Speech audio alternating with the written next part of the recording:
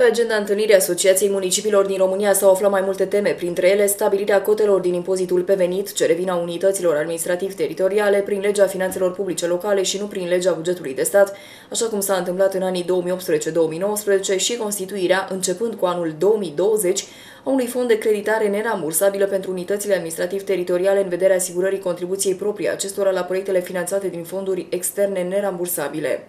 Chiar am avut o surpriză plăcută, uh, am avut o discuție cât se poate de, de pertinentă și de bun simț. Um, vreau să vă mă felicit că m-am am ținut să fiu prezent la acea întâlnire. Am fost singurul primar care nu este de la partidul de guvernământ.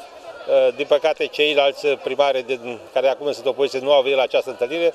Eu consider că, uh, indiferent cine este la guvernarea țării, trebuie să respecti dacă vrei să-ți meargă bine comunitatea. Am uh, ridicat uh, punctul meu de vedere cu aprobarea bugetului și care a fost punct de vedere unitar. După ce ne-am consultat toți primarii de municipii, am avut o ședință vreo trei ore, mi-a ridicat punctul de vedere care, spre bucuria mea, a coincis cu punctul de vedere a celorlalți colegi și n-am mers acolo cu 20 de probleme, în așa fel încât să nu rezolvăm niciuna. Ne-am propus să mergem cu patru probleme concrete pe care să le, dacă reușim, să le rezolvăm.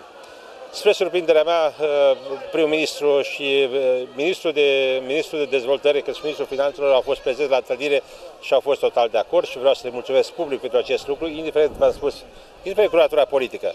Dar faptul că se implică și se, se, se apleacă asupra administrației publice locale e un lucru fenomenal.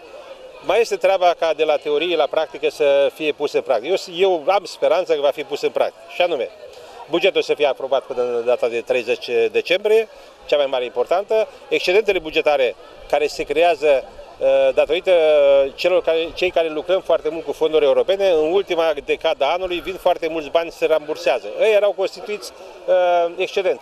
Și atunci uh, guvernul vedea și îți lua excedentul. Nu este corect. Și am cerut ca acel excedent să fie folosit în anul următor și s-a aprobat acest lucru.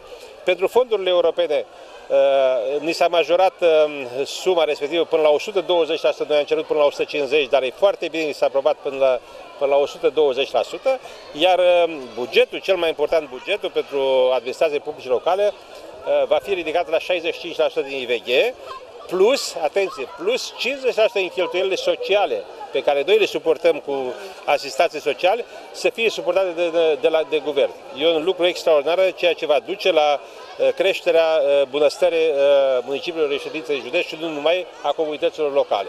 Printre subiectele de discuție s-a numărat și menținerea plafonului disponibil pentru finanțările rambursabile care pot fi contractate de către unitățile sub diviziunile administrativ-teritoriale la nivelul de 1700 milioane lei, astfel cum a fost reglementat pentru anul 2019 prin ordonanța numărul 12 din 2019 cu privire la rectificarea bugetului de stat pe anul 2019.